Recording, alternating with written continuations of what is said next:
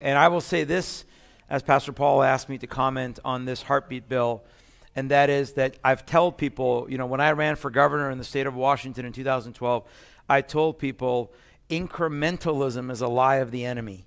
This idea that we're going to incrementally chip away. When God says something is evil, it's evil. And God says, stop it. And so we ought to stop killing our children. Amen? Period. Period. Period. So I agree with Pastor Paul, everything he said. So tonight,